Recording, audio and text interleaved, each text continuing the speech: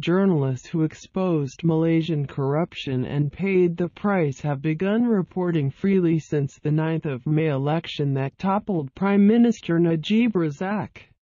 While press freedom may be improving in Kuala Lumpur, racial diversity has some way to go in U.S. newsrooms, a report says. Before this month's general election, stories of state graft in Malaysia were difficult to publish in the Malaysian media. Razak's government went to great lengths to stifle scrutiny of the embezzlement of billions of dollars from One Malaysia Development Berhad 1MDB, a state fund founded by Najib. Not anymore. The whole thing is that now we can report without fear or favor. Kamles Kumar, a journalist with the publication Malaysian Insights, told RFI the shock defeat of Najib's National Front coalition, putting an end to the 60-year rule of his party, UMNO, and its allies, stunned the nation. The result brought the opposition Hope Alliance to power and Najib's former boss, 92-year-old Mahathir Mohamad B80K to the Prime Minister's office. For Kumar, Rahib's loss could be a gain for press freedom. I work for a news portal. We were the ones pushing for issues like 1MDB. Donations into the ex-prime minister's account to be covered, and now the whole media fraternity is reporting everything that we were reporting before and it's very much a welcome change, he said. The scandal was a key reason why voters dumped Rahib on the 9th of May. Mahathir promises press freedom. I remember doing the whole week of campaigning during the elections. Trinna Leong, Malaysia correspondent for the Singapore outlet Straits Times, told RFI. I was in this one state called Johor and I was very shocked. People who are traditionally supporters of the National Front decided at the last moment to switch and support the Hope Alliance because they're just so fed up with corruption and the cost of living. And these two things are linked. Najib is accused by the U.S. Department of Justice of personally pocketing $681 million, 581 million euros, looted from a Malaysian government agency. Not only has the Pakatan Harapan government of Mahathir Mohamad pledged a full independent investigation into the billions of embezzled funds but Mahathir has also promised to ease restrictions on the press. Previously, the Malaysian government had pushed through restrictions on free speech, including punishing individuals for spreading fake news. The fact that that bill was drafted in two months, drafted and passed in two months was madness, comments Leong, who welcomes plans by Malaysia's new multimedia minister Gobind Singh Deo to repeal the law. Of course it's good news, she said. There is a desire to get rid of it because the new government has to show that they are going to fulfill their promises and this is one of the things that they promised to do.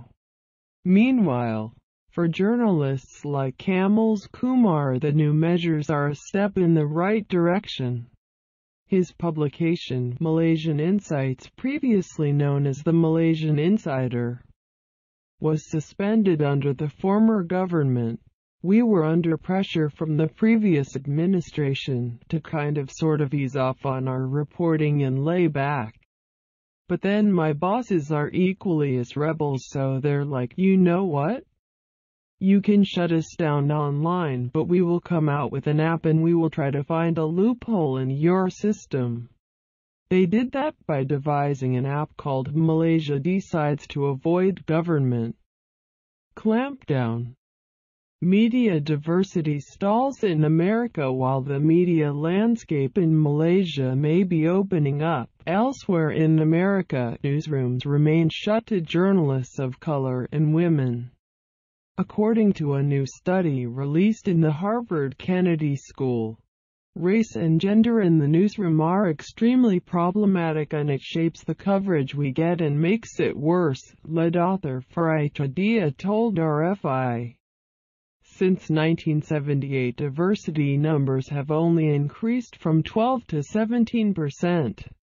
As part of her research, Chideya interviewed an African-American reporter whose parents had lost their home in the mortgage crisis of 2008.